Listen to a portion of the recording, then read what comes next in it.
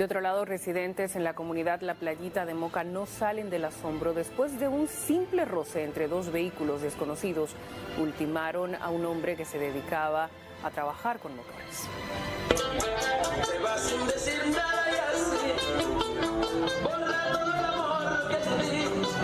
Este pequeño roce del vehículo que conducía con una jipeta que transitaba por la autopista Presidente Ramón Cáceres le costó la vida a Francisco Javier Lazala Castaño, un mecánico de motores de 45 años.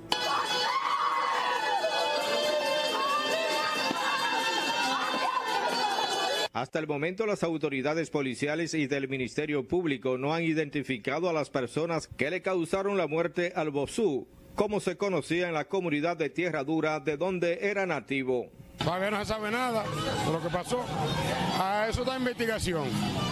Dicen que fue por una discusión, de un roce. Dicen que fue por un roce de dos vehículos, no se sabe todavía nada.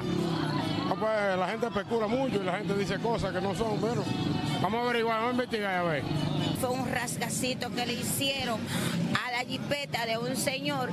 Él siguió y más adelante él se paró y a ver qué al carro le había pasado porque no fue una cosa sin querer que él lo hizo.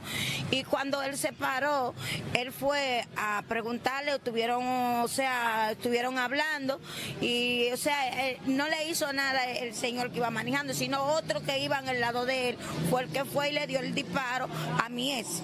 Pero nosotros lo que pedimos, nosotros los familiares, que se haga justicia, porque no fue un perro que mataron. En medio de escenas de dolor y consternación, familiares y amigos lo acompañaron hacia el pulcro con el clamor de que se haga justicia. Un roce de un vehículo, ese tiene que ser un animal, pero la policía tiene que tratar de, encontrar a ese hombre.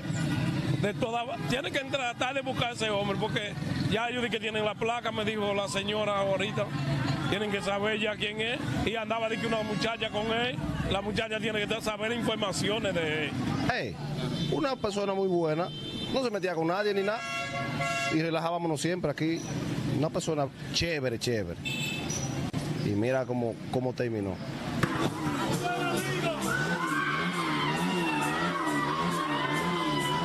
Según se supo, las autoridades ya tienen identificada la placa del vehículo donde se desplazaban los hombres que apretaron el gastillo contra la sala Castaño.